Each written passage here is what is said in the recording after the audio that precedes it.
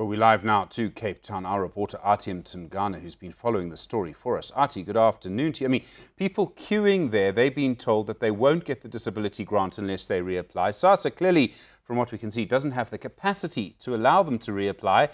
They queue overnight, and now they get sprayed by a water cannon.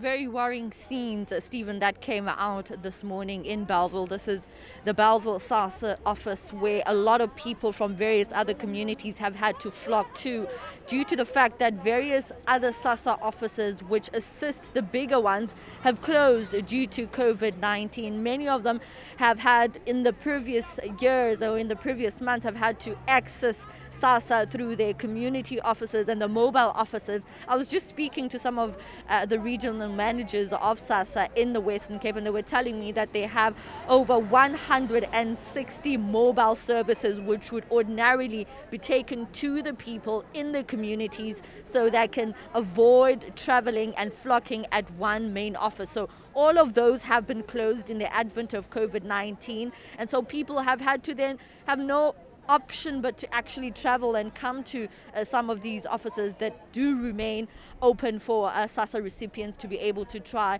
to access. And uh, Stephen, the staff members themselves have also not been operating as per usual due to COVID-19. Of course, they're operating at 50% staff capacity. That, of course, also due to the fact that the country and the world really is still grappling with COVID-19. But, of course, uh, the situation where people have had to be sprayed with water cannons by the police.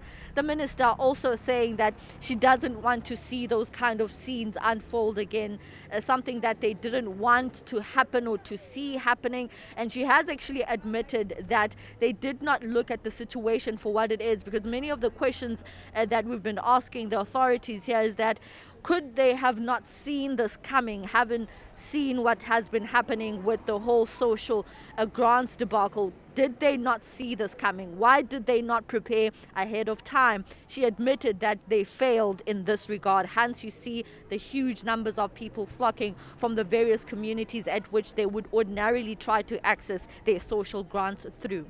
It's quite something, Athi. I mean, from the moment over the weekend it emerged that this grant was being stopped for 200,000 people, I think 53,000 of them live in the Western Cape. I mean, it was clearly foreseeable. It really looks like the SASSA officers, the Department of Social Development, didn't seem to understand what was going to happen.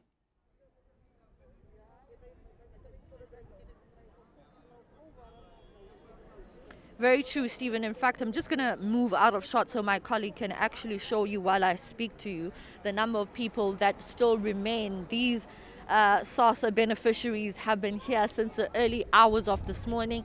Many of them have been here since Monday already.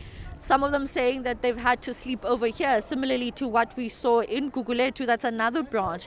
There's about 16 SASSA offices in the Western Cape with over 160 mobile services that they would try to use uh, alternatively, but have since been closed as well uh, due to the fact that uh, the country is going through uh, a pandemic. So these people, Stephen, are people who are very much aware of the fact that some of their grants have had to be cancelled. They are very aware of how the systems work. Uh, they are saying that they've had no other option but to come physically at some of these SASSA offices because they don't have access to online.